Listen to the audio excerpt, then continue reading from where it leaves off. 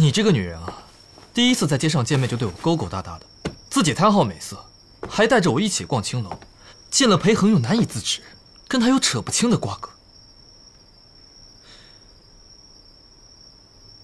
哼，你腹中这孽种，保不齐就是他的吧？啊？你屡犯七出之罪，荒唐无度，不守妇道，生性放你怎么还有手工纱呢？哟，这还有两副面孔呢！啊，冷酷无情、娇羞无措，都让你一个人演了是吧？手工纱怎么了？有什么问题吗？大惊小怪。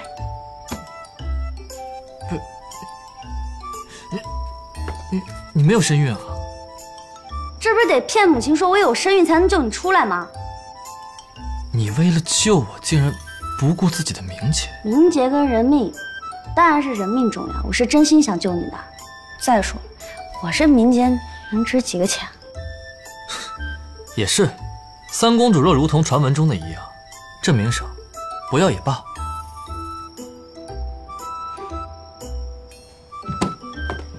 韩少君，从此以后我们约法三章：人前按照我们花园城的规矩来，你听我的；人后按照你玄武城的规矩来，我听你的。你敬我一尺，我敬你一丈。这也算咱们名义上夫妻的相处之道了。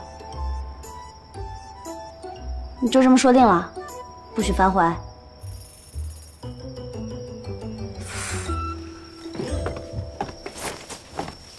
哎，站住！又怎么了？把衣服穿上再出去。这算什么？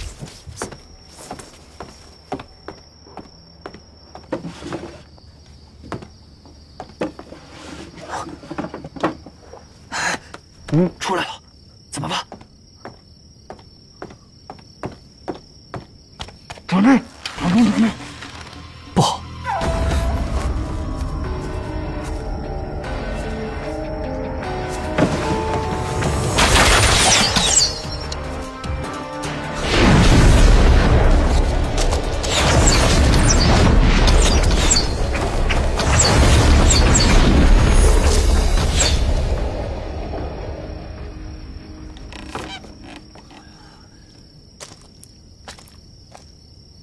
夜深了，凉。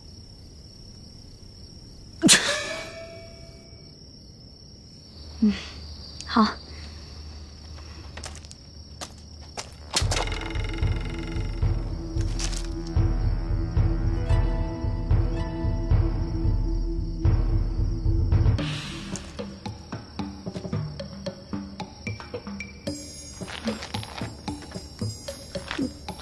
多谢少君好意。